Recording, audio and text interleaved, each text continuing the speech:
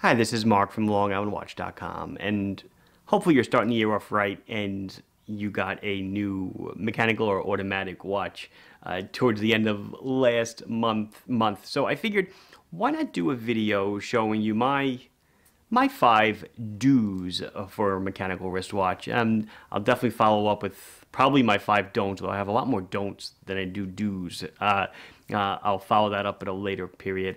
Um, I'm not really calling this a watch and learn because a lot of it is a it's it's fact and opinion. So, you know, kind of just more of an informational video. Uh, my own wrist check. I am doing. I'm, I'm actually on a double Islander day, 43 millimeter white dial and 38 millimeter blue dial, kind of like a yin and yang going on. So number one. So my number one do. Uh, and even if you're a seasoned collector, maybe some some of this might be interesting to you. Um, but if you're a, a new one in the hobby, probably all good stuff for you. So my number one is when you set the day and the date for the first time, or when the watch is wound down and you don't know if the watch is an AM or PM. So there is a danger zone. The danger zone for mechanical watches is between 9 PM and 3 AM. During this time, you should not quick set the day or the date. There are lots of caveats to this. There are watches that are built against this. Uh, most ETA movements are built against this, as are Rolex movements. Uh, Patek has a really cool um, way to get around it. But your most of your low cost watches with the slow changes, your Miyotas, your Seikos, this is a big danger zone. And why is it dangerous? Well, I've done videos on this, and it, they are actually watch and learns of why you don't do this. But really quick, between 9 and 3, the day and date mechanism is starting to do its job. Um, and if you go to quick set it, you're going to force it. And there's a little gear, especially in Seiko movements, they're really known for this. There's a little gear inside and it's plastic and you can snap a tooth like that. It's so simple to do. And to change that little gear requires taking the watch apart, taking the hands off, taking the dial off, taking off a bunch of screws and this replacing this one penny well, I don't know if it's one penny. It's probably less than a penny to make, but not to buy. Uh, a few dollar plastic part they got to pop back in uh, just to get your day and date rolling again. Uh, so um, here's a little quick uh, example of what I'm talking about. So this Seiko is the perfect example. I hap- I actually did just happen to pick this up, and it's a little bit after one. I can see the day and the date. I but yet I don't know if this watch is AM or PM. I have an idea based on the position of the day and date wheels, but I don't want to set the day and the date until I know that I'm out of this danger zone, um, or for sure that I am uh, between the hours of like say 9 a.m. to 3 a.m., which is not the danger zone. Remember, the danger zone generally is 9 p.m. to 3 a.m. So what I'm going to do is I pull the crown out two clicks. I unscrewed it first, and I'm going to change the time clockwise. Okay, so 6, 7, 8, 9. So here comes 12. Look at that. So we were at AM before, but now See the day the date flipped and now the day will flip twice. So now we know that this watch is showing 3 a.m. So let's go another hour or two. So now it shows 6. Today is um, what, Saturday the 9th. So I would now go and set the watch to the 9th and Saturday.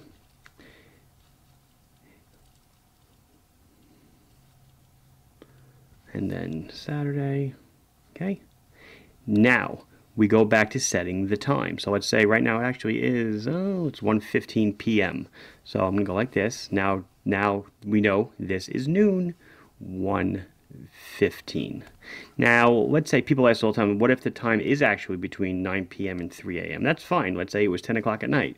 We just advance it now to 10 p.m. We're not going to change the day and date, so we don't have to worry about um, affecting anything. So that's how you should always change your day and date when the watch is stopped and or you do not know what time it is and that will prevent you from causing damage that normally wouldn't happen. So my second do is sorry people I know in Great Britain or the UK they get all bent out of shape when I do that. It means two. to me it does. Uh, is cleaning. Uh, cleanliness on a watch not only makes it look good, but it will definitely last a lot longer and you won't deal with issues like corrosion, uh, things falling apart. Mostly for dive watches, but from any watch in general, um, hopefully it's water resistant. You want to rinse it every now and again with a little bit of warm water and some soap. Uh, whatever kind of soap you want to use. Just something mild. Anything used for your hands is probably fine. Baby shampoo is fine. Um, and you're just cleaning off dirt and grime. Um, toothbrush, very, very important, easy to use, gets in all the little nooks and crannies. Uh, an important area that some people definitely neglect. On the back of a diver, I guess I'll take mine off. Divers especially, but really any watch with a screw down back where that's raised a little bit. Okay, you want to scrub between the area, the area between the case back and the case itself because you collect dead skin cells, suntan lotion in the summer, uh, salt, particles, all garbage in that little zone. And if the watch ever needs service and it's not cleaned properly before you remove the back, when you crack the seal, a little line of disgustingness pops out. And that disgustingness is all your body things. Mixed with suntan lotion and body oil. Um, and if that gets in the movement, that's not a good thing at all at all. Uh, so you want to keep the case back clean. But cleanliness the most important time to keep a watch clean especially a dive watch is after using it in salt water going to the beach sand. Um, what i do when i get back from the beach or you know not like immediately but you know, within certainly within a day or so is i will submerge the, submerge the watch in warm water and I will, I'll do on this one, it's easier for me, work the bezel counterclockwise, obviously. And just underwater, keep doing it, keep doing it until um, it, will probably be difficult at first because there'll be sand lodged in it. Uh, and what you're doing is just running the spring out, getting rid of any little um, pieces of sand or anything else that might be stuck, uh, keeping it free and clear.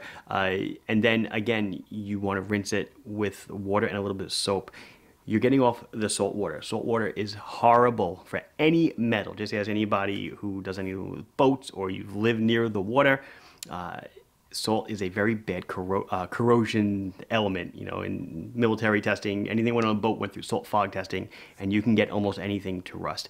Yes, your watch is stainless steel, but at some point during your watch's birth cycle, when it was being made, it was touched by a tool that was not stainless steel. And that tool leaves iron deposits behind, which in the presence of salt will rust. Now, again, as part of the watch being made, there is a passivation process that takes place that kind of, it's like an acid watch that gets rid of any of that um, non-stainless steel material that's left behind. Um, but yeah, there could be a little piece lurking and all you need is for a little rust to start and then it kind of never stops. So keep your watch clean. Uh, my third one, storage and maybe you have one watch. So if you have one watch, great. So where do you keep it? Do you just keep it on a dresser at night? Well, I don't agree with this. Now I, I do as I say, not as I do kind of thing. My dresser is loaded with watches. I'm actually in the middle of doing something for mass storage because I have a ton of watches and I filled up seven watch boxes now. But I actually, believe it or not, I have like an old Bulova box. Um, I own a Bulova somewhere, but that's believe it or not, that's where I keep my white gold Daytona. It just stays in here. It doesn't stay on a desk. It doesn't stay on top. Um, and my reasoning is, is that I hear this from so many customers. Um, the watch is on the nightstand and they knock it off and it falls onto a tile floor or a wood floor and guess what? It doesn't work anymore. Guys, watches are automatics and mechanicals, one, two, three hundred parts all working in harmony, all extremely, extremely fragile. Yes, they can take the daily shock of life that you throw at it. It can take a fall onto a carpeted floor, eh, probably that problem. But if you drop it onto a hard floor, a ceramic tile floor, oh my goodness, the G's that are felt inside the watch, probably approaching about a thousand G's or so. Um, and something is going to break. Uh, your, the gears are balanced on these really, really, really, really thin pivots, and they're going to snap and it's going to be really expensive to repair. If it's even worth repairing, because if it's something like a, a Seiko or something else, you're probably going to want to just replacing the whole movement. Uh, so I definitely recommend some kind of storage. If you only have one watch, just use the box it came in, right? Um, if you have more than one, then invest in a box. You can get boxes on the dreaded Amazon or any other, you know, favorite place that you like, something that holds 5, 10, 20 watches, whatever you want. And that way they're always in a safe place and away from away from accidents, away from kids, away from all these bad things that could happen. Um, back on dive watches, number four, my fourth do. After about two years of uh, a new dive watch, you do want to have it water resistance tested if you are going to use it in and around the water. It's a very simple test. Any real watchmaker can do it because as a fact of them changing batteries in watches and doing other service, they have to water resistance test watches when they're done. So bring it in. It'd probably be a nominal fee. They can test it just at three atmospheres, whatever, just to make sure it's still holding a seal. It's an air test, so even if it leaks, it's not going to be a problem. Um, I really don't feel there's a need for you to bring a watch to its full two or 300 meter depth in a wet test because you're almost going to find nobody that can do it. Very few people can do something like that. It's fairly specialized equipment. Um, and it's expensive test to do, uh, but just a quick air test will tell you everything's fine.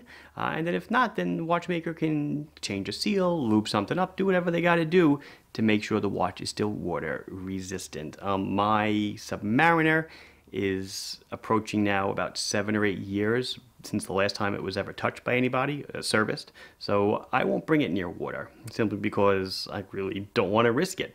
Um, a Seiko or something else that may be three or four years old, I'm not that concerned because if it breaks, whatever, I'll I'll get another one. But you know, with your more expensive watches, um, and maybe if it's your prize Seiko, you don't want to do that. Don't take a chance. Um, get it tested. Like I said, like after like the first two years or so, you want to test these things.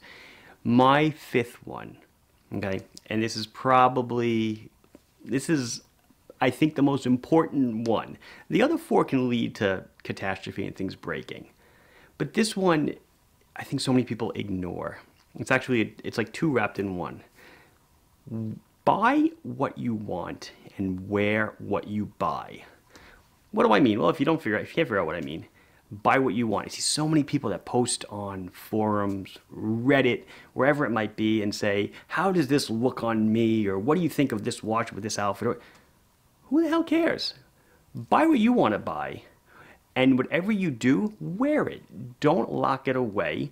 Um, it's a watch. It's meant to be worn. It's meant to be seen. It's going to get scratched. It's not going to look new forever.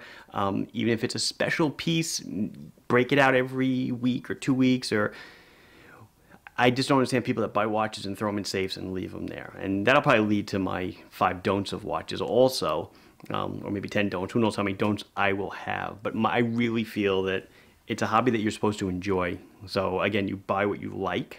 If you want to wear a brown strap with black shoes, go right ahead. If you want to put a diver on leather, it looks great. I think it looks great. Go right ahead. Um, if you're an Invicta fan, enjoy them. They're all watches. They all tell time. And the ugly truth is, your phone tells time too, so you really don't even need a watch. So um, I think that's it. Those are my five do's. This has been Mark uh, from LongIslandWatch.com. I, I'm curious, give me some of your do's, and you know, I'll comment where I can. If something's important, I'll try to pin it. Um, but those are the top five that kind of popped into my head. Like I said, first four can lead to catastrophe. Fifth one, I feel, is just why would you buy a watch if you're not going to wear it? Uh, please like the video if you enjoyed. Subscribe to the channel uh, if you have not done so. Follow me on Instagram. So go ahead, this little counter go up and get me up to a seven-digit counter soon. Uh, and I already told you to leave your comments down below. And see you in the next one. Thank you very much. Bye-bye.